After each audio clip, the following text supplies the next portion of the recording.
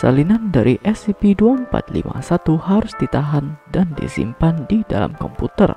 Komputer ini bisa ditemukan di lantai 10, bagian C, di site 88. Salinan individu dari SCP-2451 harus diawasi setiap saat untuk menjaga keamanannya. Semua perubahan yang terjadi di dunia game SCP-2451 harus dilaporkan kepada Kepala Penelitian SCP-245.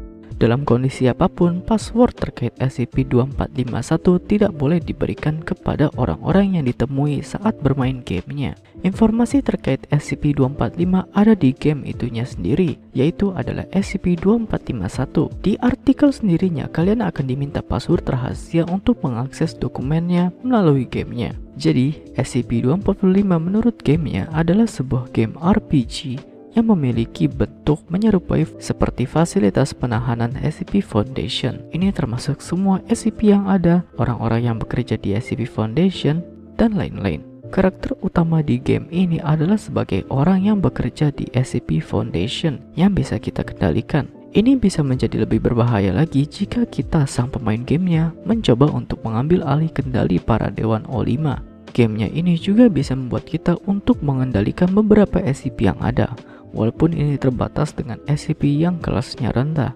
Tapi tidak hanya itu, game ini memiliki plot atau ceritanya tersendiri, seperti yang dijelaskan di dokumen SCP-2451-A setelah memasukkan password rahasianya. Cerita ini dimulai dari seorang pemuda yang terinspirasi untuk mengangkat pedang dan perisai milik neneknya untuk melindungi kotanya dari serangan para golem pasir. Setelah melakukan misi tersebut, sang pemuda pun diberikan misi untuk menyelamatkan putri dari raja yang telah menghilang. Misi ini juga memiliki misi sampingan lainnya yang harus dilakukan untuk menemukan tempat persembunyian para bandit. Dan kapten banditnya pun dipercaya sebagai orang yang menculik putri dari kerajaan tersebut.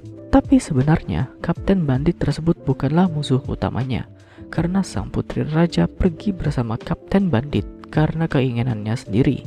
Lalu, musuh utamanya pun datang, yaitu sang Ozymandias, dan berterima kasih kepada karakter utama gamenya karena sudah membantu dia mencapai tujuannya dengan menyelesaikan misi-misi yang kita lakukan. Sang raja menyuruh karakter utama pergi ke piramida di mana kita akan bertemu lagi dengan Ozymandias. Ozymandias pun akan selesai dengan ritualnya dan kita harus menghentikannya dengan bertarung. Setelah pertarungan ini selesai, maka nanti permainan akan berakhir dan deskripsi penuh terkait SCP-245 akan ditampilkan di akhir game.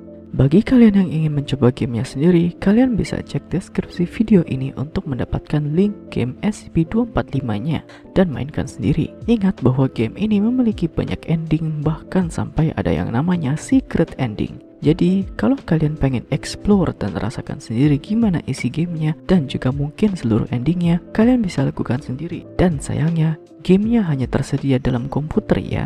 Enjoy dan beritahu pengalaman kalian nantinya setelah bermain game SCP-245 dan jangan lupa untuk selalu secure, contain, dan protect.